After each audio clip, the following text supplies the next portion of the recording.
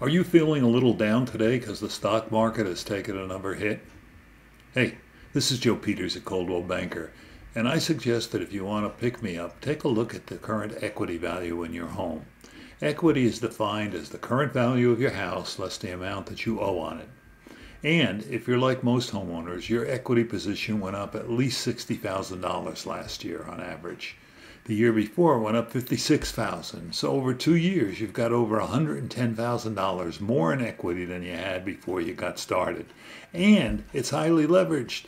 You probably only have 20% or less invested in that house, but you're getting an equity rise on the entire house. I'm not saying this is going to continue forever, but we're actually going to see another 7, 8, 9% this year. And next year, we're probably going to see it pull back a little, but not minus, just less increase. If you're a current homeowner, your equity position is growing very nicely, and it's something to be very, very proud of. Actually, a great pick me up. Over the past 20 years, I've been able to help hundreds of buyers and sellers successfully complete their real estate transactions.